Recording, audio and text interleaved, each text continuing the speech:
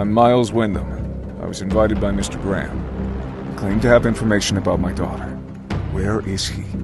Charles is currently not available. What does that mean? He's missing. He disappeared a couple of days ago. Since then, others from the staff have vanished as well. I'm Olivia. I'm a nurse, and I'm joining Dr. Carter at Graham Memorial. Why is there so much blood on the floor? It was an accident. Everything's under control. This whole clinic they're running, it's a sham. They act like it's a mental hospital, but it's really just a rotten prison. No one's getting treated. I don't understand you. Our baby girl is sick, and you just want to give up?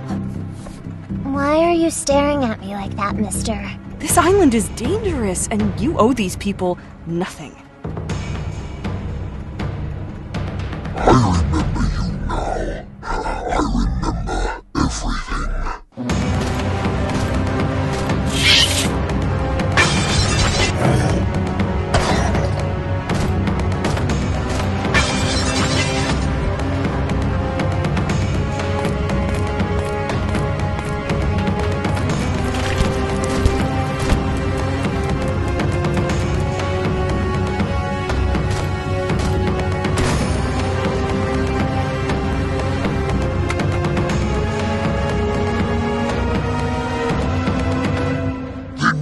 dawn is upon us.